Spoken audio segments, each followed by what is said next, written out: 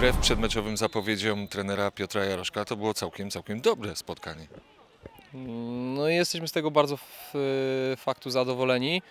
Yy, Zdziwieni troszeczkę, bo, bo myśleliśmy, że, że drużyna motorycznie będzie wyglądała znacznie gorzej. Natomiast miłe zaskoczenie, widocznie trzeba podkręcić. No może niebo, a ziemia to byłoby zbyt daleko idące porównanie do niedzielnej konfrontacji z Goczałkowiczanami, ale postęp widoczny.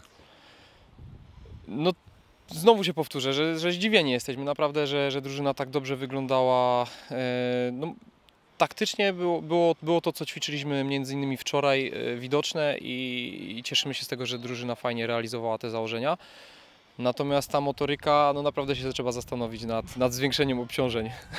Zobaczmy, jak y, zaprezentuje się drugi garnitur rekordzistów w konfrontacji z Kuźnią Ustroń, czy na podobnym poziomie. Mm, No, to zobaczymy. Oni są, tamta grupa jest po, po treningu na siłowni porannym, więc, y, więc z automatu mają jedną jednostkę w nogach i w rękach więcej niż ta grupa, która teraz grała, ale, ale życzymy im jak najlepiej. Sparingowe otwarcie Bielszczan w konfrontacji z Podhalem Nowy Targ w ocenie szkoleniowca zespołu gości Dariusza Mruzka. Przegraliśmy nieznacznie. E, Były fragmenty, gdzie, gdzie dominowaliśmy, szczególnie w pierwszej połowie, gdzie utrzymywaliśmy się dłużej przy piłce. Druga połowa już nie wyglądała tak dobrze, ale mówię, jesteśmy na etapie budowania zespołu. E, Staramy się znaleźć zawodników, którzy będą pasowali do naszego sposobu grania.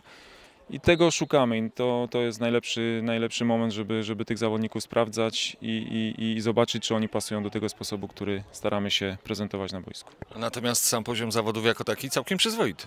Bardzo przyzwoity i drużyna rekordu stara się grać piłkę i my staramy się grać piłkę, więc myślę, że, że tutaj jak najbardziej szkoleniowo takie mecze są wskazane. Cel Nowotarżan przed nowym sezonem? O jedno miejsce wyżej niż w poprzednich rozgrywkach? E, To będzie zdecydowanie trudniejsze niż w poprzedniej rundzie, ponieważ duża grupa naszych zawodników e, odeszła, tych, którzy stanowili trzon tego zespołu.